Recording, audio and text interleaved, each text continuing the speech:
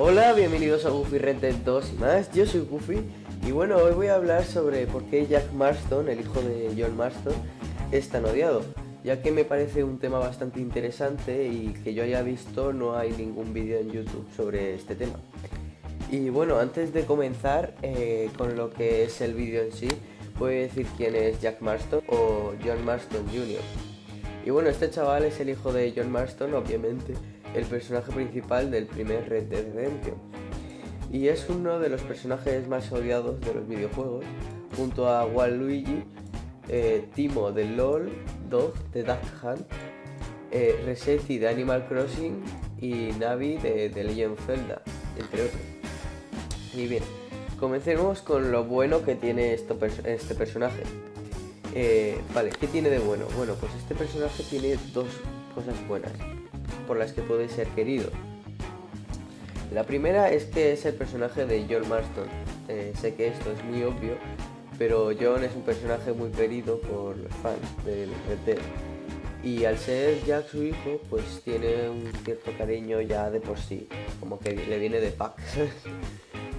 y bueno, venga su padre. Como todos los que habéis jugado el Red Dead sabéis, eh, John al final del juego muere. Uno de los personajes más queridos, o incluso para muchos, pasando incluso por CJ del GTA San Andreas, más querido, creado por Rockstar, muere a manos de Edgar Ross. Y como es normal, el jugador siente rabia por esto, el que está jugando en ese momento. Y es aquí cuando Jack, cuando crece, venga a su padre matando a Edgar. Pero este vídeo se trata sobre por qué Jack es tan odiado. ¿Por qué digo sus cosas buenas? Porque es lo único que tiene de bueno. Me explico, no me hateéis, por favor, otra vez. Al final del juego terminamos controlando a Jack, porque John ha muerto, no va a volver así de la vida por arte de magia. Y repito, lo controlamos al final del juego.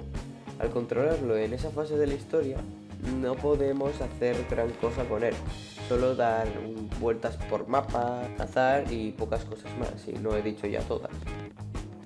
Es verdad que hay misiones secundarias que podemos hacer con Jack, pero son las mismas misiones que podríamos hacer con John. Incluso parece que Rockstar quiere hacer que los jugadores no nos guste demasiado este personaje, ya que John era un tipo humilde y que le gustaba ayudar y hacer el bien por las demás personas, hasta el punto, hasta el punto de hacer esa estúpida misión de recoger las flores a un tipo. Y aquí es donde entra la personalidad de Jack que no es igual a la de su padre, es todo lo contrario. Bueno, pues esto es todo lo que tengo que decir sobre este personaje, ya que como digo, le controlamos al final del juego y no podemos hacer gran cosa con él.